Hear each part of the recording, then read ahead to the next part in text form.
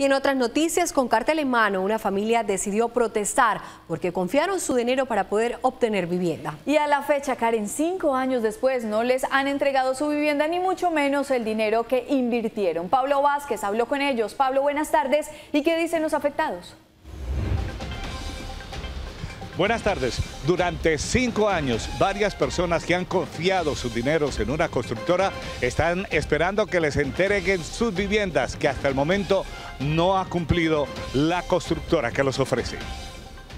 Son tres proyectos de vivienda de los que siguen captando dinero y por ninguno han respondido. El día de hoy quiero denunciar a una constructora que se llama Ariarca, en donde trabaja el señor Juan Carlos Pinzón ¿sí? supuestamente un ingeniero, el cual hace cinco años me prometió un proyecto en Ritoque Bajo que se llamaba El Orumo. En los dos años siguientes no se vio reflejado evolución del proyecto. Ante la demora de la entrega del proyecto, decidió reclamar su dinero y tampoco lo han devuelto.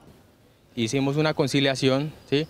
En la conciliación el señor se compromete a pagar el dinero en ciertas fechas las cuales también incumple, dice que mire a ver qué, va a hacer, yo no tengo con qué pagarle, ¿sí? Pero sin embargo, vemos que eh, tienen proyectos, diariamente siguen llamando a la gente para decirle por favor, sigan cancelando, sigan, pónganse al día, ¿sí? Y resulta y pasa que es una gran estafa. En un audio, el ingeniero Juan Carlos Pinzón sigue pidiendo plazo para la devolución del dinero, el mismo que hace cinco años no entrega. No, días más yo sé que ya me llega una plata y le puedo cumplir. Algunas entidades como la Procuraduría, incluso la misma Defensoría del Pueblo, le han dicho que esa plática ya no tiene retorno. ¿Qué es lo que está pasando?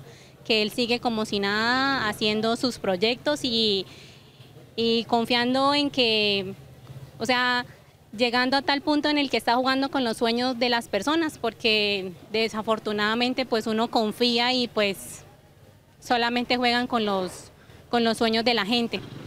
Y uno de los proyectos que tiene en Florida Blanca, Planeación ya le cerró toda posibilidad porque tiene muchas denuncias, han dicho en la alcaldía. Información originada a esta hora. Continúen ustedes compañeros en estudio.